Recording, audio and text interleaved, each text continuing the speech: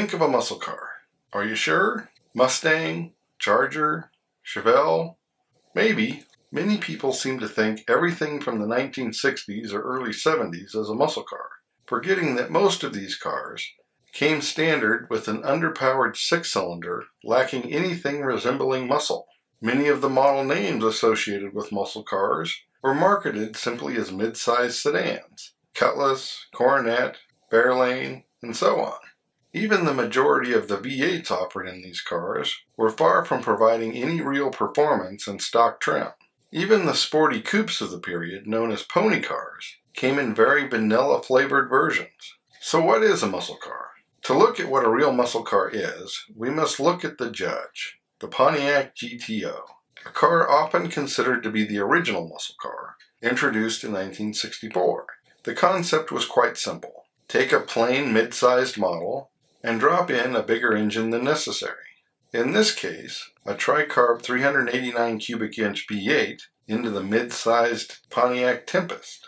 The Tempest and its better equipped Le Mans twin were available in coupe, convertible, sedan, and wagon, with a base 3.5 liter, 215 cubic inch straight six with 140 gross horsepower, or an optional 5.3 liter, 326 cubic inch, 280 gross horsepower V8 more than adequate for the 3,400 pound car.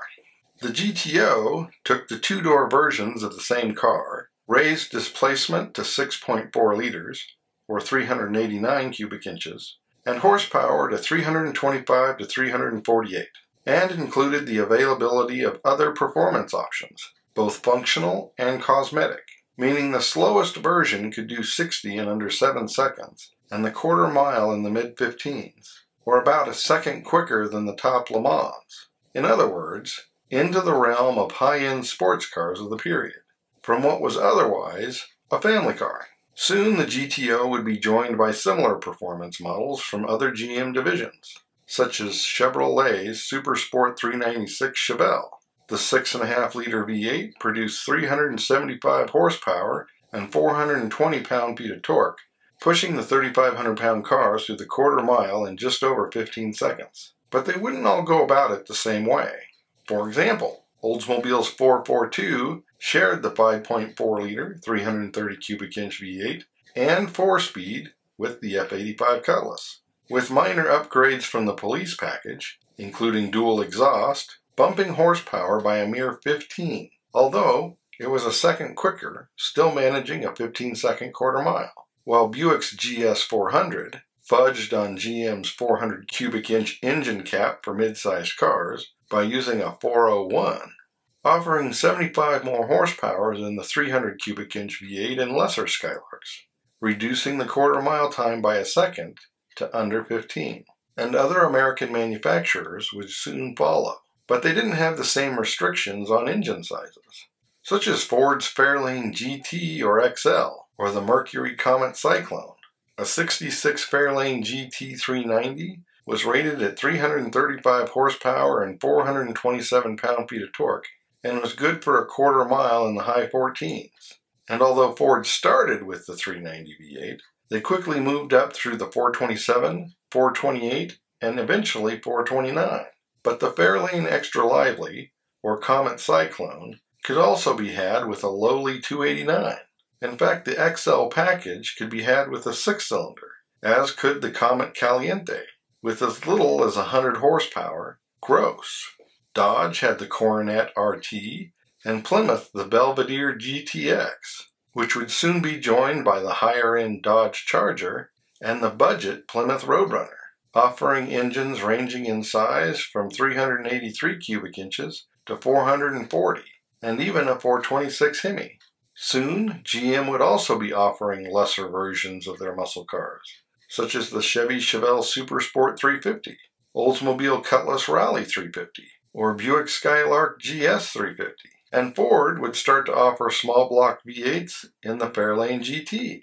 AMC had the Rebel SST, starting in 1967, that could be had with a 343 V8 with 280 horsepower, which could do the quarter mile in the high 15s although the base engine was a 232 straight six with 145 horsepower.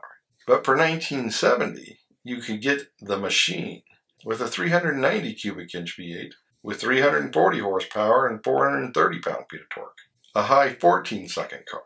And by 1970, GM had given up on the engine size cap, with all divisions offering 7.5 liters. Torque monsters that would be both expensive and rare. Oldsmobile was actually first, with the 455 powered Hurst Olds getting around the engine cap in 1968 as a Hurst product, when the 442 was at precisely 400 cubic inches. But it too would get a 455 in 1970 with 365 horsepower or with the 370 horsepower W30. The top 68 400 cubic inch 442 only had 360 horsepower and 440 pound feet of torque while the better equipped 455 Hurst Olds had 390 horsepower and 500 pound-feet of torque. All were capable of sub 14 second quarter miles when properly equipped.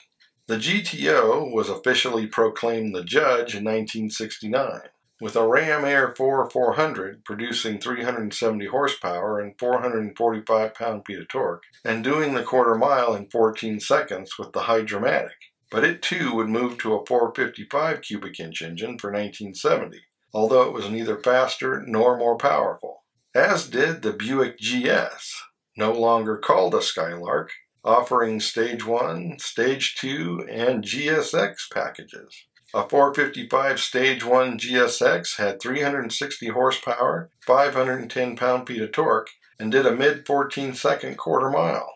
And of course, there was the Chevelle Super Sport 454 with up to a 450 horsepower LS6 version costing more than $3,500.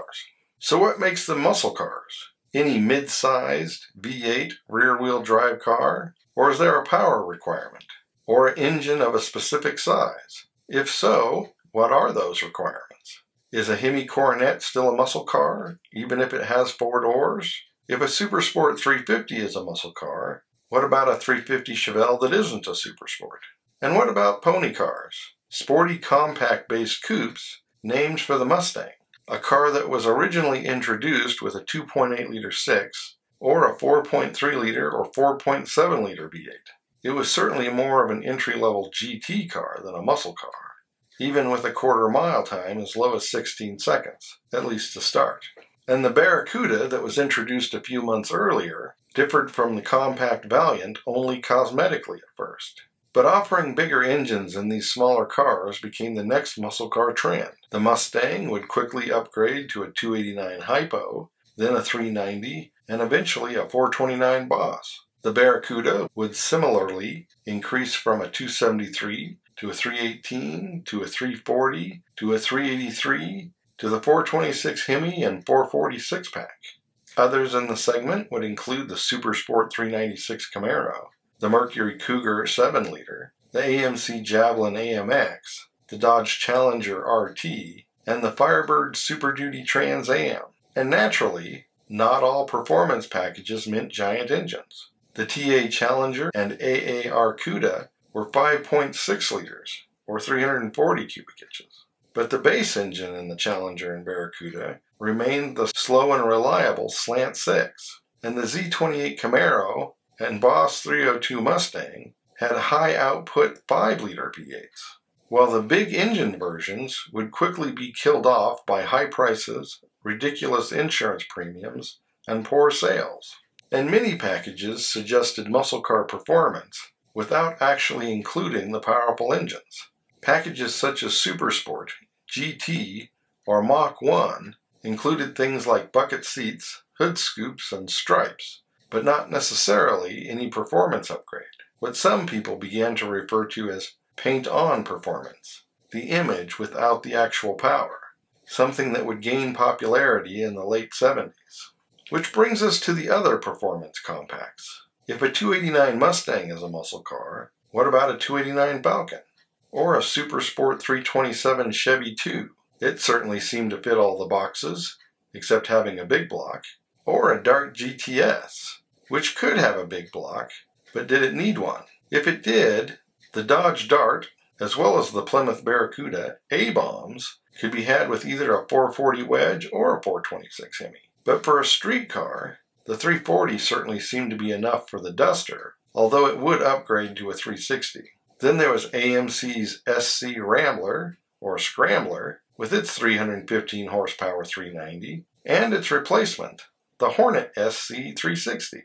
Ford's Grabber Maverick only had a 5 liter V8, but it weighed 250 pounds less than the Mustang with the same engine, making it half a second quicker in the quarter mile when similarly equipped. And if engine size to car size is a factor, where does the 5 liter V8 Gremlin fit in? And for that matter, what about the much larger and heavier 75 Nova Supersport? And what about the big block Corvettes? Can a sports car be a muscle car? Or were only the small block versions the real sports cars? Or the Shelby Cobra? The 289 Cobra was a sports car, and the 427 Cobra a muscle car? And prior to the muscle car movement, companies were offering super stocks, homologation specials that were big cars with giant engines. Truly muscle cars before there were muscle cars. But these were sold as factory race cars that in some cases were street legal or could be made that way.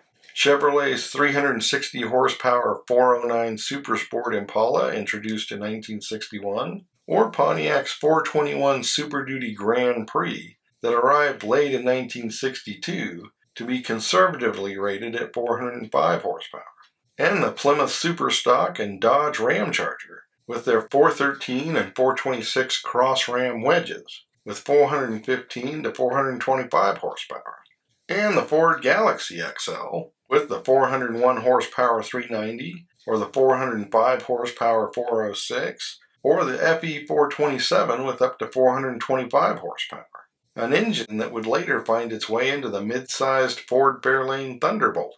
Were these actually the first muscle cars? Many would say no.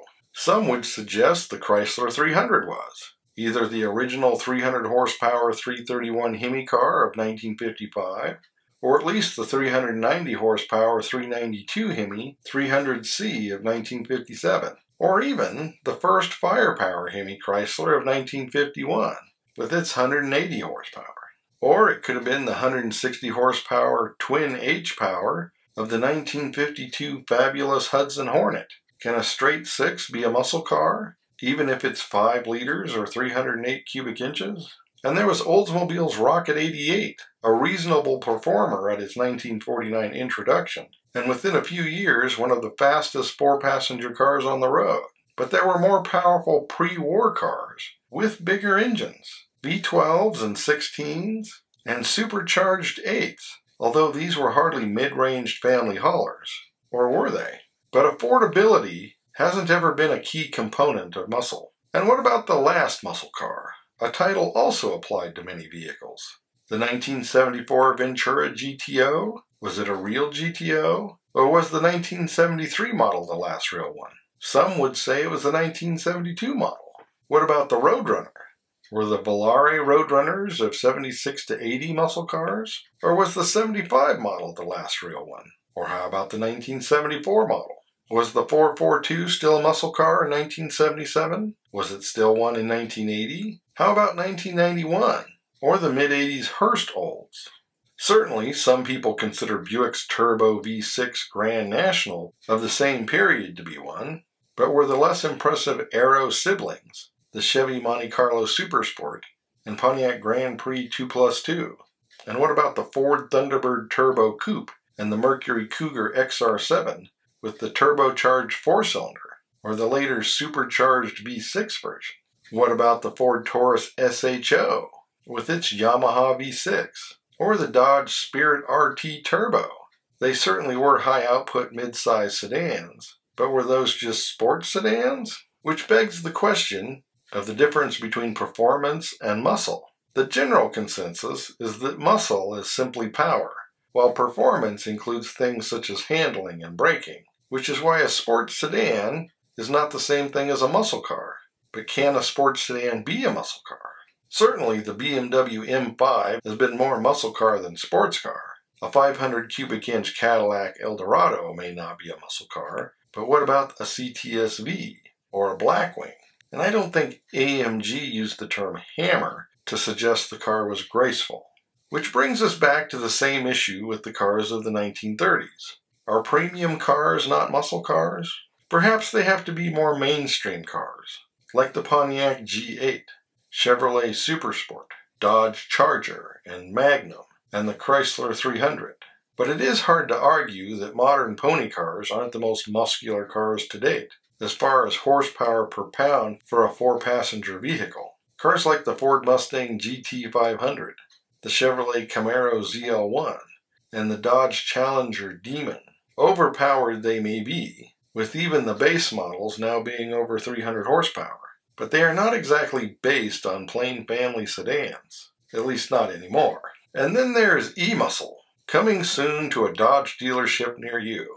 Although when it comes to a plain sedan, that's best asset is straight line performance, the Tesla Model S has long fit that bill, as long as a certain type of sound isn't on your list of requirements. In the end, there's no clear definition of a muscle car, and in some cases can be more related to what you've done with it than what you started with. Where do you draw the line? Let me know in the comments below. And as always, thanks for watching, and don't forget to like and subscribe.